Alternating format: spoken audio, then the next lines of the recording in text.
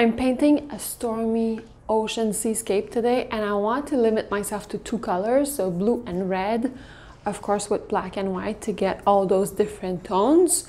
But limiting the palette I feel helps me personally keep um, uniformity and helps me not get too overwhelmed with colors. So I just want to try that out today. Not gonna talk much, I'm just gonna let you watch me paint see if it can inspire you and I'll talk to you after.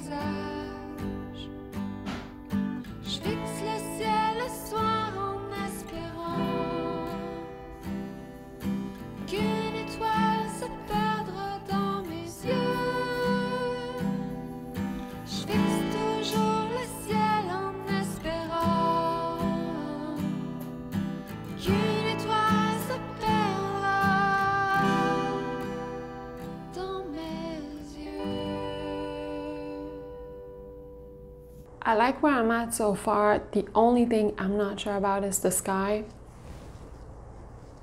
My nemesis. I haven't found a way to create expressive um, clouds without it being messy or too overwhelming in the composition. I could be sitting here and really paint realistic clouds but that's not what I want. I want to keep it like more expressive and spontaneous. But now it doesn't look like that. It looks overwhelming, messy, and it distracts from the ocean, I find. Instead of fighting the painting and fighting with my clouds and the sky, I think I'm just gonna remove them and keep a sky super minimal. And the, it could be a mistake, totally. I could be making it worse than it is now, but it's going to be informative. We'll see the before and after, and you can tell me what you think if you preferred the messy clouds or the super minimal painting. I want to try it. Let's be bold.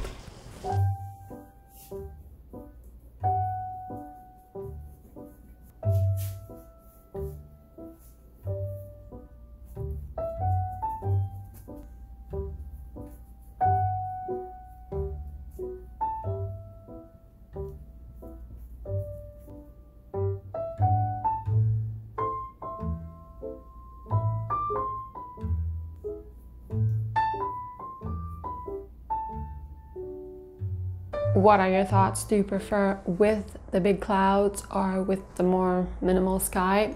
I have no idea. I'll have to let it simmer and think about it. I did enjoy having a limited color palette. I think for me that's the way to go. Just build two more colors. Start with a limited color palette. I enjoyed that. Part of the challenge was also to do this very spontaneously and very fast. So I did it in about an hour.